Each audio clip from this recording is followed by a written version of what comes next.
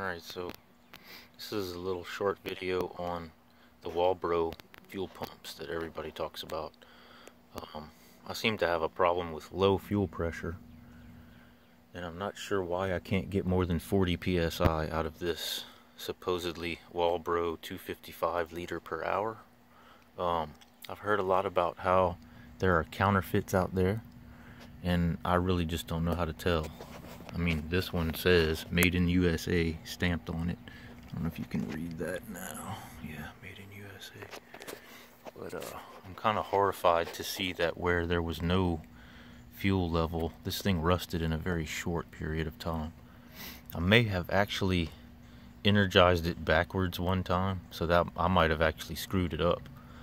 But um, I'm not going to take the chance and use another 255. I'm going to replace it with the 450 liter per hour. Uh, notice it says TI Automotive. I'm told TI has been um, has been actually uh, Walbro since about uh, I guess the early 2000s. So this is uh, said to be a genuine Walbro 450. This one can handle E85. And although the closest E85 I have is about 80 miles away, I just want to be ready for if it ever does hit here because they say it's a nicer fuel when you're to do boost. Um, this one's got some kind of little rubber grommet that came with it. This kit didn't have that, so I'm about to see if I can retrofit this dude to there without doing some strange skullduggery or bracketry. And uh, I'll show you what I did to get to this without spending the hour of your life taking the tank off. So using a cutoff wheel, I cut this piece out of the back under the hatchback to get to the sender and all these other deals here uh, I suppose. Yeah this is for your fuel sender to tell you how much fuel you got in for your gauge.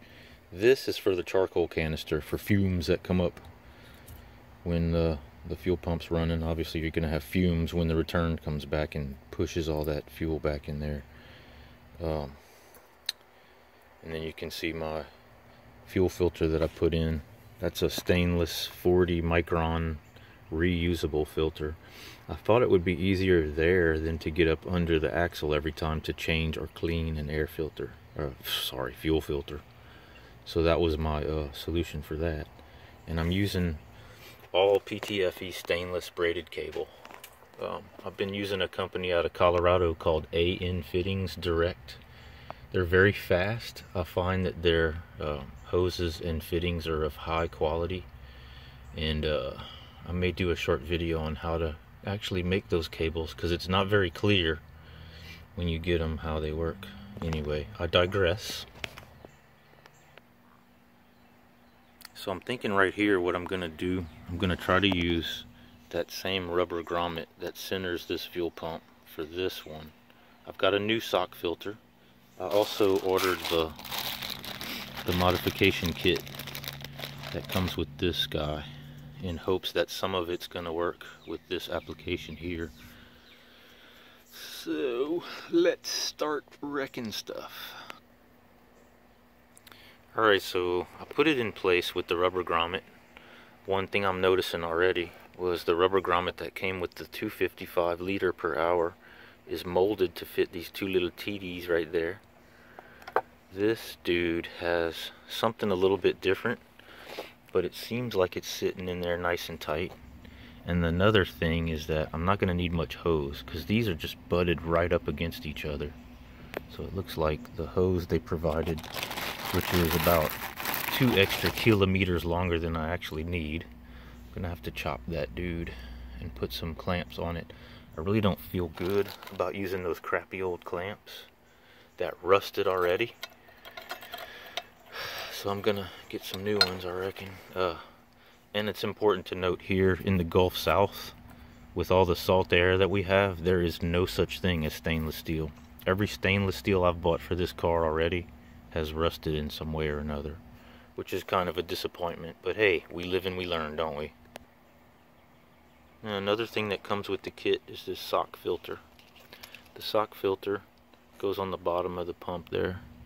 I guess uh, that's your pre-filter. That heads off anything big, hopefully getting into the fuel filter system. Or even into the filter itself, I guess. Um, even having one upstream from that's going to help. Which I guess is why every manufacturer seems to do that. So this has to snap in place, I believe. So I'm going to have to take it back off and do that. Alright, so here is issue numero uno for the day. The sock filter fits on there. There's a bit of a, a dowel pin to locate the sock filter. And this rubber grommet I've got here that sits in the hanger, it seems like this middle piece is interfering with that. So sadly I must whittle some of this out of there somehow. Although I'm not sure how you would whittle rubber. I'll probably just have to cut it. I'm not afraid. I've cut a lot for this project. It's amazing the things that you just don't consider when you're trying to swap an engine or upgrade a fuel system. It is the devil in the details for real, folks. Alright, so using a uh, straight razor type razor, I guess uh, box cutter, uh, construction type razor by hand, and you know, not requiring an emergency room, I managed to notch this piece out. So let's see how it goes. So it seems that it became necessary to also remove the little dew flaps on the bottom, or cooter flaps, whatever you want to call them, because this was interfering also with that guy right there. So let me try again. You know, just like pipe fitting, fitting any bushing or washer or bolt requires a little bit of finesse. This one's requiring a little more than I care to admit. So now the problem becomes that this rubber piece is too high up for the sock filter to get under it. So I'm going to have to slice a bit of thickness off of it somehow on the bottom edge instead of the top. And so, by the grace of Shogun, I was able to slice this thing without having to go to the walk-in clinic or severing any major arteries. Let's see how this is going to fit now that the profile of it's a little bit lower. Alright, so this is the result here. Let me turn this camera. I swear to God.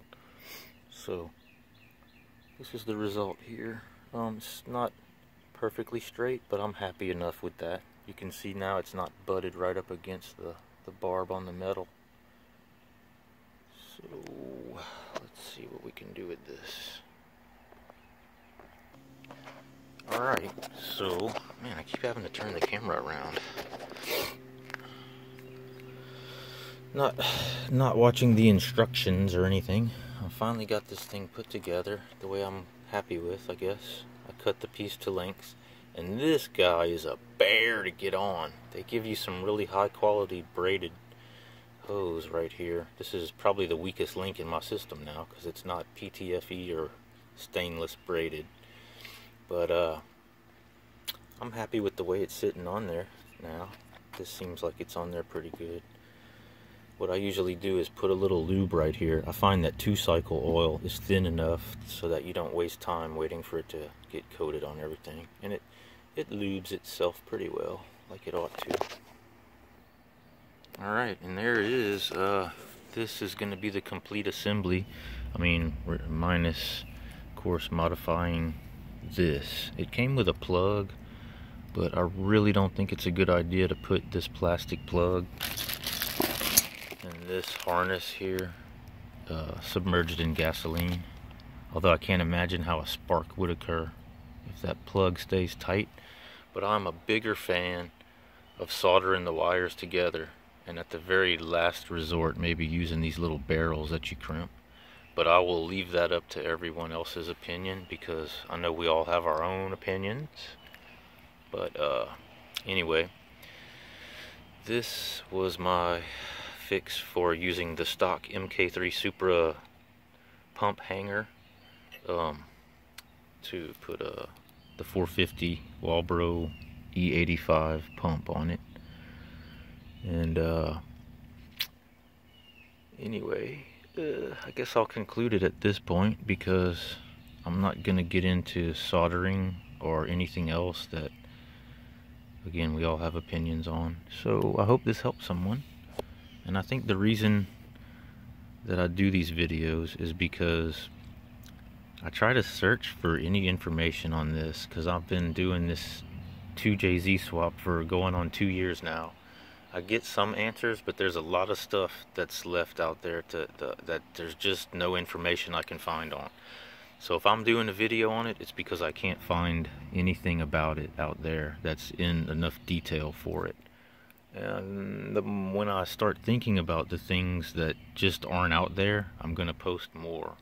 So this is really just the beginning. I'm actually going backwards because I could have started videos on doing the engine and uh, you know cleaning it up and all that.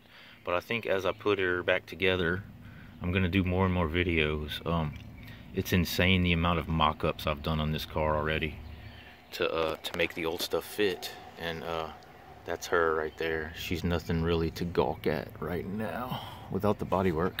And I have some kind of leak up there that I have to deal with later. But as you know, the important thing is the engine because you got to go fast, fast, right? Anyway, y'all have a great day. I hope I helped somebody.